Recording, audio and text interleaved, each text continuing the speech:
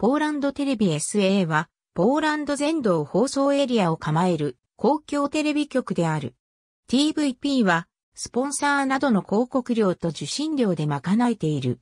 ポーランドテレビポーランドにおけるテレビは1935年にワルシャワでのテレビ試験放送であり、ポーランドラジオが実施した。第二次世界大戦後の1952年10月25日に TVP1 を開局した。1970年には TVP にも開局した。またケーブル系のチャンネルを5つ持っているほか、国際放送のテレビポーランドも運営されている。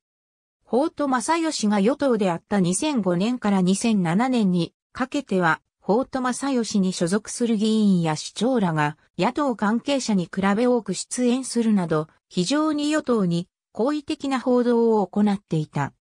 Freedom House、Nations in Transit 2008、Democratization from Central Europe to Eurasia、Rowman Littlefield、2008 P443 ISBN 978から0から93万2088から63から5ありがとうございます。